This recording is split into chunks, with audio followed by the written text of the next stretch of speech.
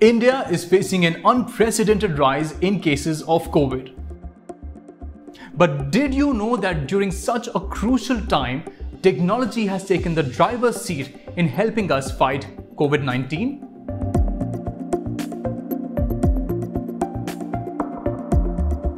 This is Tech Against COVID a series where we get you the best of technology and how it is helping us manage and battle this deadly, deadly virus. I am Cyrus John, and in this first episode of TAC, that is Tech Against COVID, we will look at the app landscape and the ecosystem and how it is helping us battle COVID 19.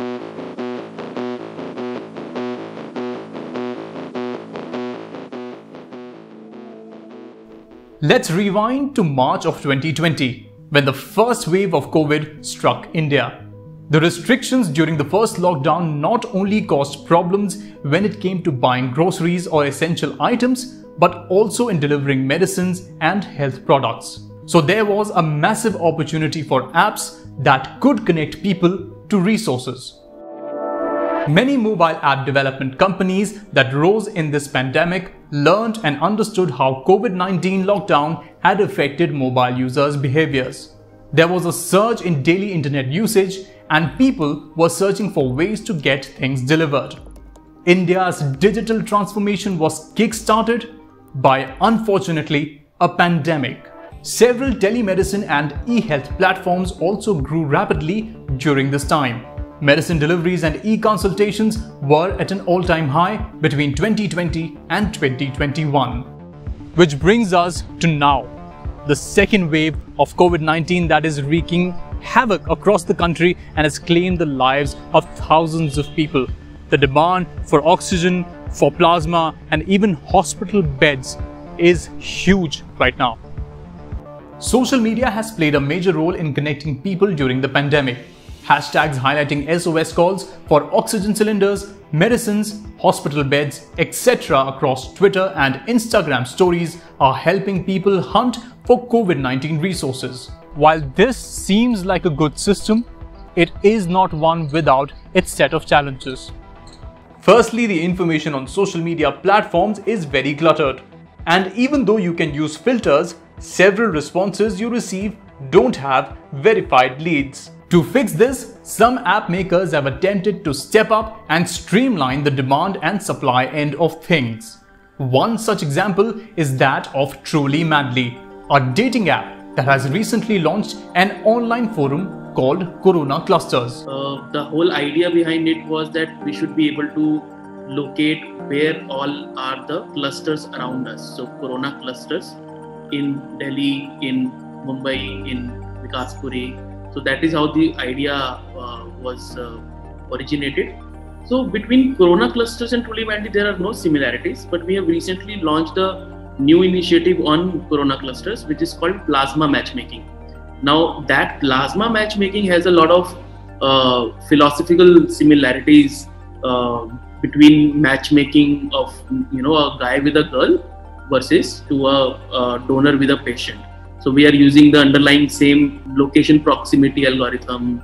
We are using similar filters, right? So uh, just instead of matching a guy with a girl, we are matching a donor with a patient. Finding plasma donors on Corona Clusters is a fairly straightforward process. Just log into coronaclusters.com, head over to the Plasma tab, and there you can register your request by filling out a form that asks for your details like your blood group, age, and the date you tested positive.